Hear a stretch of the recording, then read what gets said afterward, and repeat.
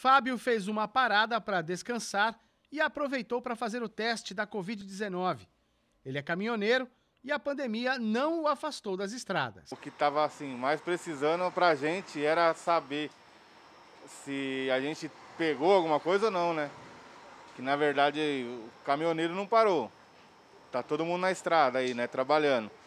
Estavam dando um apoio pra gente, assim, marmita, um café da manhã, alguma coisa assim, né? Faltava o teste. Este outro caminhoneiro tomou a vacina contra a gripe. A ação é realizada pela Ecovias junto com empresas parceiras. A ideia é valorizar e dar segurança aos profissionais que não pararam de trabalhar por causa da pandemia. Os testes e vacinas são de graça. Até o momento foram vacinados contra a gripe H1N1 mais de 1.800 caminhoneiros e testes é, para identificação do Covid, mais de 4.300 testes.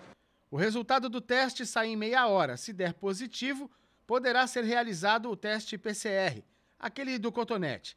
Se confirmado, o motorista é encaminhado a uma unidade de saúde.